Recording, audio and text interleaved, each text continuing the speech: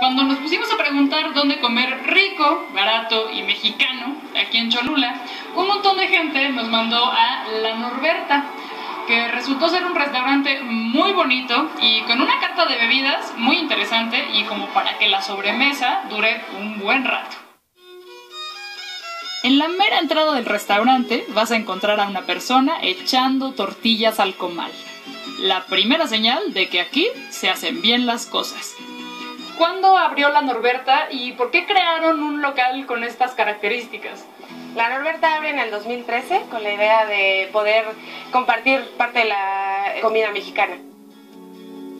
Para empezar, es buena idea pedir unas chalupitas o unas pellizcadas de tinga, huitlacoche y pollo. Otras especialidades son las enchiladas Doña Gloria y el taco de longaniza. ¿Cuáles son los platillos estrella, tanto poblanos como del resto del país? Las virongas Villamelón, es un taco preparado con longaniza, cecina, chicharrón, en bañada en salsa morita. De Tampico, las enchiladas Doña Gloria, con esa salsa tan peculiar de salsa de chile serrano con crema. ¿Qué pasa con las bebidas?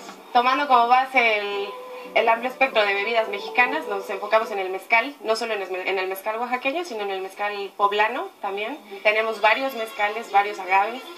No tenemos como tal etiqueta poblana, es un mezcal 100% artesanal, el que se vende aquí de, la Sierra Mixteca poblana. Eh, las cervezas artesanales, bueno, la mayoría de las cervezas artesanales hasta hace un par de meses son 100% poblanas el 80 de ellas 100% cholultecas. Y bueno, las mezclas han ido surgiendo con, con, el gusto de los clientes, con el gusto de nosotros mismos.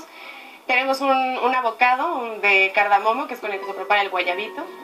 Es un mezcal que se le pone cardamomo, se deja macerar y se prepara con guayaba, eh, mezcal y hielos.